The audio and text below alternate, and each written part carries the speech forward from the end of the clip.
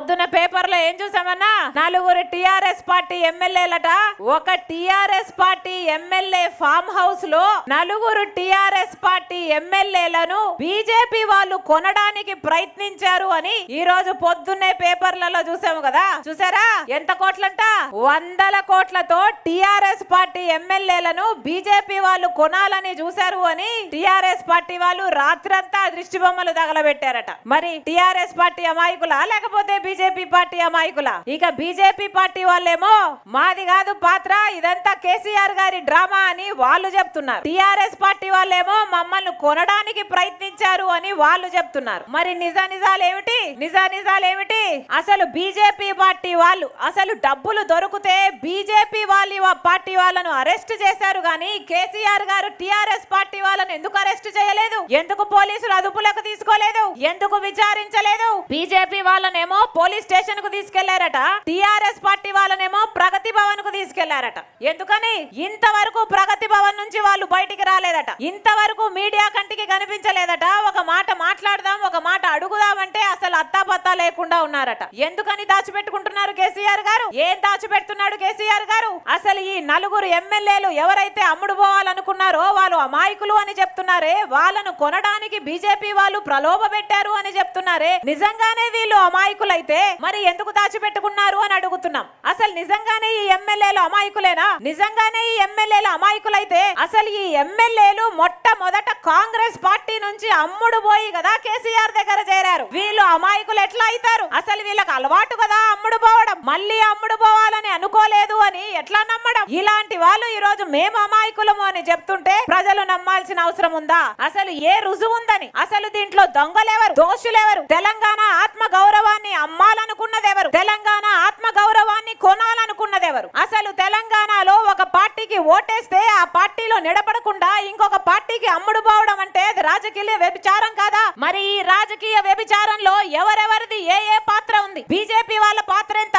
కేసీఆర్ గారి TRS party వాళ్ళ పాత్ర ఎంత? నిజానిజాలు ప్రజలకు తెలియాల్సిన అవసరం లేదా? అందుకే వైఎస్ఆర్ తెలంగాణ పార్టీ డిమాండ్ చేస్తుంది. బీజేపీ పార్టీ సిబిఐ ఎంక్వైరీ వెయ్యాలి అని కోర్టులో పిల్లు వేసిందట. అసలు బీజేపీ పార్టీ అధికారంలో ఉంది కదా? కేంద్ర శాఖ మీ చేతుల్లోనే ఉంది కదా? మరి సిబిఐ ఎంక్వైరీ మీరు ఎందుకు ఆదేశించలేరు అని బీజేపీ పార్టీని ప్రశ్నిస్తున్నాం. మీ నిజాయితీని మీరు నిరూపించుకోవాలంటే మీరే సిబిఐ ఎంక్వైరీ ఆదేశించొచ్చు కదా అని బీజేపీ పార్టీని నిలదీస్తున్నాం. ఒకవేళ కేసీఆర్ గారు చెప్తున్నట్టే టిఆర్ఎస్ పార్టీ నాయకులు చెప్తున్నట్టే టిఆర్ఎస్ పార్టీ ఎమ్మెల్యేలు నిర్దోషులైతే మరి మీరెందుకు సిబిఐ ఎంక్వైరీ అడగడం లేదు అని అడుగుతున్నాం. స్పీకర్ గారు ఉన్నారు కదా ఎమ్మెల్యేలకు సంబంధించిన విషయం అయితే మరి స్పీకర్ గారు సిబిఐ ఎంక్వైరీ ఎందుకు ఆదేశించడం లేదు అని కేసీఆర్ గారిని టిఆర్ఎస్ పార్టీని సమాధానం చెప్పమని అడుగుతున్నాం. ప్రజలకు నిజాలు తెలియాల్సిన అవసరం ఉంది. అసలు కేసీఆర్ గారు ఏమి దాచుతున్నాడో తెలియాల్సిన అవసరం ఉంది. కేసీఆర్ గారు ఈ ఎమ్మెల్యేలను ప్రగతి భవన్లో ఎందుకు దాచిపెట్టుకున్నాడో చెప్పాల్సిన అవసరం ఉంది. అసలు ఏమి జరుగుతుందో దొంగలెవరో దోషులెవరో తెలంగాణ ఆత్మ గౌరవాన్ని అమ్మాలనుకున్నదెవరో కొనాలనుకున్నదెవరో ప్రజలకు తెలియాల్సిన అవసరం ఉంది కాబట్టి వెంటనే సిబిఐ ఎంక్వైరీని వేయాలని వైఎస్ఆర్ తెలంగాణ పార్టీని బీజేపీ పార్టీని డిమాండ్ చేస్తుంది పార్టీ స్పీకర్ని కూడా డిమాండ్ చేస్తుంది. అసలు ప్రజాస్వామ్యమేనా ఇది? ప్రజాస్వామ్యమేనా ఇది? ఇది ఆఫ్ఘనిస్తాన్లా ఉంది. తాలిబాన్ల లాగా పరిపాలిస్తున్నారు. గూండాల రాజ్యంగా మారింది. దొంగల రాజ్యంగా మారింది. అసలు ఒక్కడైనా ఒక్కడైనా ప్రజాస్వామ్యాన్ని గౌరవిస్తున్నాడా? మునుగోడ ఎలక్షన్ చూస్తున్నామే. ఎలా ఉంది మునుగోడ ఎలక్షన్? సర్పంచ్ ఎంపీటీసీ జెడ్పీటీసీలు వాళ్ళ కార్లు ఇస్తున్నారట బైకులు ఇస్తున్నారట కోట్లు ఇస్తున్నారట అమ్ముడు పోతూనే ఉన్నారు కదా. అసలు నల్ల తిప్పితే మునుగోడలో నల్ల తిప్పితే మంచినీళ్ళు రావటం లేదట. ఏమొస్తుంది? లిక్కర్ వస్తుందట. లిక్కర్ వస్తుందట. ఎలా తయారైంది ప్రజాస్వామ్యం? ప్రజాస్వామ్యము తలదించుకునే పరిస్థితికి వచ్చింది అసలు తెలంగాణ ఆత్మగౌరవాన్ని ఎక్కడ మిగులుంది?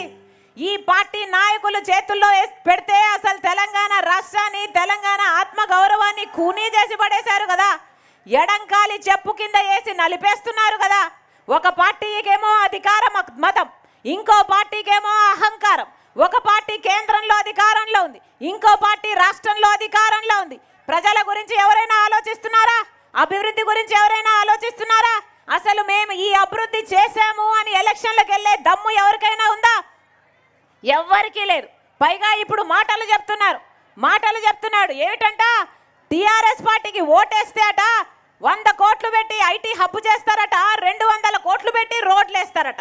బీజేపీ పార్టీకి ఓట్లేస్తే వందల కోట్లు పెట్టి ఆసుపత్రులు కడతారట. ఏ మీ ముందు మీకు ముందు కనిపించలేదా మునుగోడు? మునుగోడు తెలంగాణలో లేదా? మునుగోడలో ఈ అవసరాలు ఉన్నాయని మీకు ముందు తెలియదా మునుగోడలో ఎలక్షన్ వస్తే బై ఎలక్షన్ వస్తే అప్పుడు మీకు అభివృద్ధి చేయాలని తోచిందా? అంటే ప్రజలు మీకు మనుషుల్లా కనిపించడం లేదు. ప్రజలు మీకు ఓట్లేసే యంత్రాంగాలుగా కనిపిస్తున్నారా?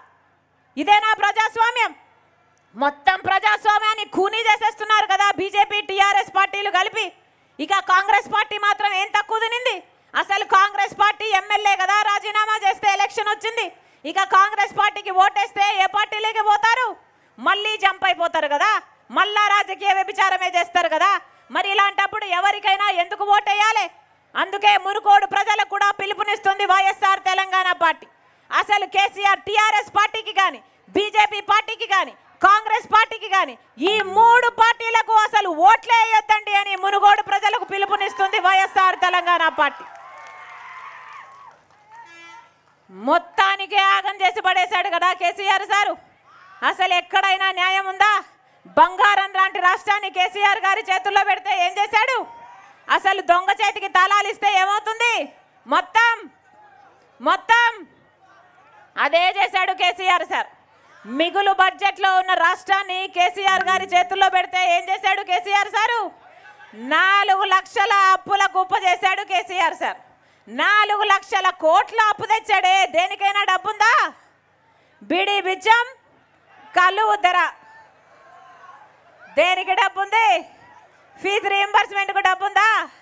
ఆరోగ్యశ్రీకి డబ్బు ఉందా రుణమాఫీ చేయడానికి డబ్బు ఉందా డబుల్ బెడ్రూమ్ ఇల్లు కట్టడానికి డబ్బు ఉందా కనీసం పెన్షన్లైనా చక్కగా ఇవ్వడానికి డబ్బు ఉందా దేనికి డబ్బు ఉంది ఆఖరికి సర్పంచులు మేము పంచాయతీలు ఎలా నడుపుకోవాలి అని అడిగితే ఒక మంత్రి ఏం చెప్తున్నాడు? ఖాళీగా ఉన్న బీరు బాటలు బ్రాంతి బాటలు అమ్ముకొని పంచాయతీ నడుపుకోవాలట. ఇదేనా బంగారు తెలంగాణ? ఇదేనా బంగారు తెలంగాణ? ఎవరికైంది బంగారు తెలంగాణ?